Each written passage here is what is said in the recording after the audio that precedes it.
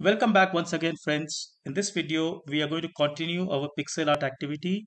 Remember previously we had a code which could create us one row of squares. In this video, we'll see how we can extend that logic to create a two-dimensional grid of squares, something like what we are doing here. Now, really this should not be very surprising, neither should this be very difficult because we have done this in the past.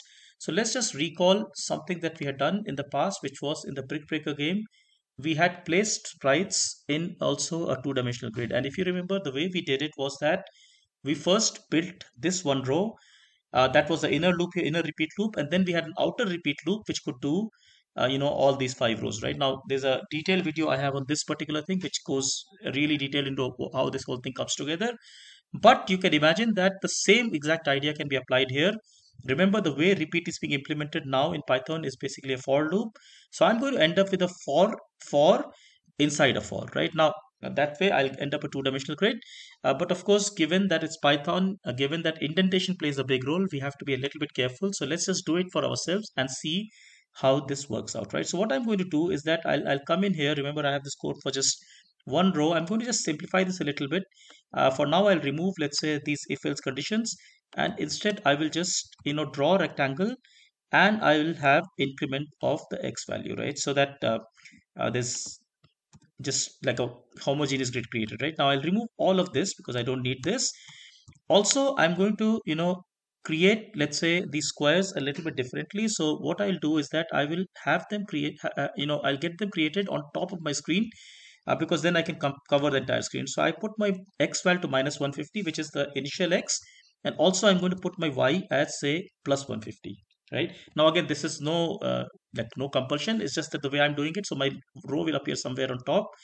Also I will make my squares say 15 centimeter 15 pixels you know 15 by 15 pixels. And hence since I made that 15 I'll also make this 15 right? So what is going to happen? Notice if you see carefully I'm starting from minus 150 each square is 15 so I'm going to end up with from the, uh, in the left i mean 0 is the middle right? So i'm on the left side of 0 i'll end up with 10 squares.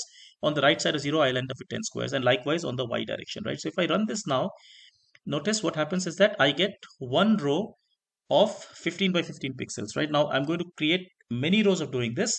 The way i'll do that is i'll also define a, a variable called n rows equals to say 20 now remember i have to repeat this process of creating one row 20 times, right? So by n rows time, right? So what I can do is to create one more for loop. This time I call it say for kk in range uh, n rows. Now, uh, you know, again, remember, I must have a colon here and everything from this point needs to be indented because this for loop is now inside the previous for loop, right? Um, I mean, the new for loop. Now, notice that once I have drawn my, uh, you know, once I've drawn my, uh, uh, let's say the last square, I must set my x value back to this point, which means I can go and say x val equals to minus 150 and I will change my y value so that the uh, the uh, the turtle comes 15 pixels down right? So that again 15 because height is also 15 i want all these guys to be touching each other.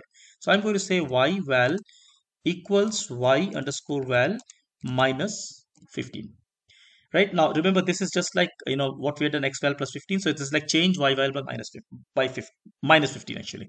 So with this code let's see what happens. Now remember this is going to run quite fast.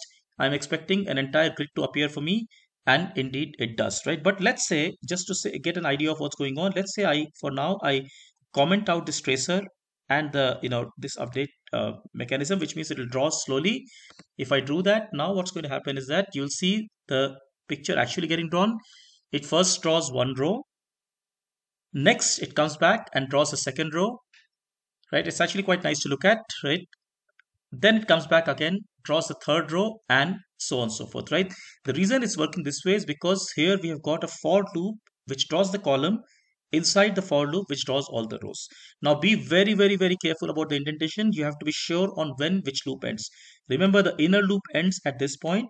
If by mistake I again indented, you know, I intended, let's indented these lines, this is going to mess up completely because my inner loop has become uh, you know it's actually drawing it like this right so you'll have to think through why what's going on but this is not what we wanted right what's really happening is the y value is changing per iteration I'm not getting my grid that I wanted, right? So the reason I must be careful is because this entire thing, remember, is outside the inner repeat loop. And you can again go back to, you know, so let's just, so I'm going to turn on my tracer again, uh, you know, this and stop this.